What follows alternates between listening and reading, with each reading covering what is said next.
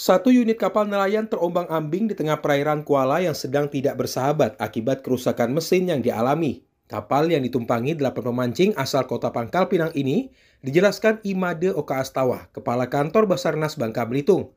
Kejadian bermula ketika para pemancing yang berangkat dari Pelabuhan Pangkal Balam sejak 29 September lalu. Namun seiring cuaca yang mulai memburuk, membuat para pemancing memutuskan untuk bertolak kembali ke dermaga Rusunawa. Namun di tengah perjalanan yang ditemani ombak besar serta angin kencang, membuat mesin kapal tersebut mengalami kerusakan dan tidak dapat diperbaiki, sehingga salah satu pemancing memutuskan menghubungi tim SAR untuk bantuan penyelamatan.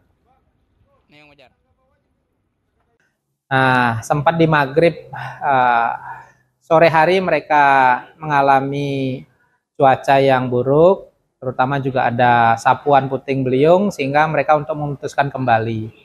Nah, pada saat kembali uh, menemui juga cuaca yang tidak baik, mesin mengalami trouble, mereka perbaiki, sempat bisa diperbaiki, namun uh, terakhir di pukul kurang lebih 10 malam mengalami trouble dan tidak bisa diperbaiki.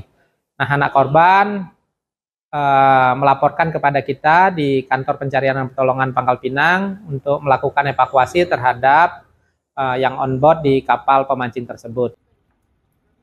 Setelah cukup lama mencari kapal nelayan tersebut, akhirnya tim SAR berhasil menemukan keberadaan kapal nelayan tersebut di tengah gelap dan cuaca yang tidak bersahabat.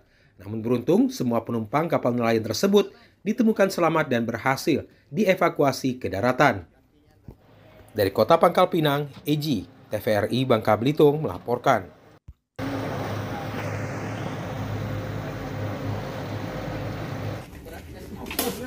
Oh.